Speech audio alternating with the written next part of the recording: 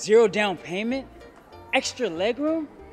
This minivan's definitely the one. As long as we can save a bunch.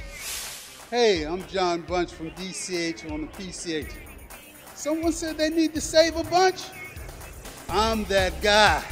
All right, let's raise the roof.